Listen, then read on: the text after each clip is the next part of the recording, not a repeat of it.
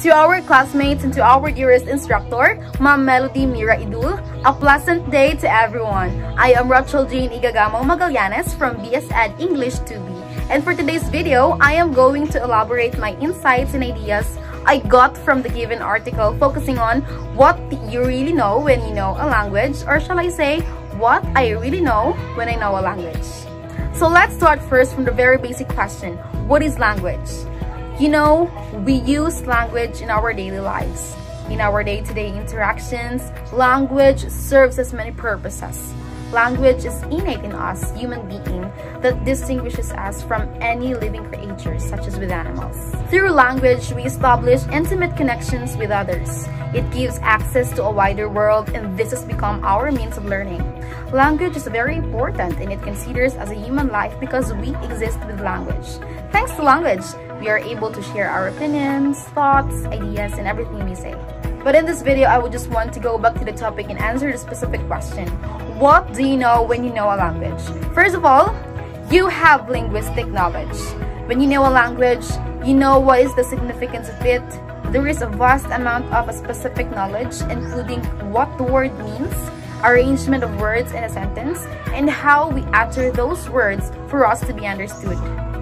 Second is that you have knowledge of sound system. For example, you know which sounds that belongs to your native language and which do not. These generally determine from our internal linguistic systems. Third, you have knowledge of words. You have a lot of vocabularies in your minds and you know their meanings. Number four, you know how to identify words and fluent speech or speech segmentation. Next, you know how to properly pronounce words or the phonology. Say, for example, the word kitty and kitty. So, because of our phonological knowledge, we know that the execution of the first word is the proper one, which is kitty. Sixth one, you know that certain words behave like other words. These are the phrases, words that we put together similarly. Also, you know how to interpret words in context.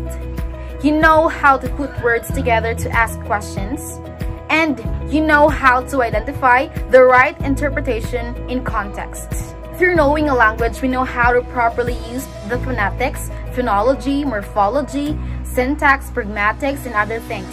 There's still more, but just giving you the sort of things when you know a language. Language is broad and it needs to be mastered effectively, put into use. So that's it. Thank you for listening and I hope that even in a short span of time, I was able to share my ideas to you. Keep safe always and God bless us all.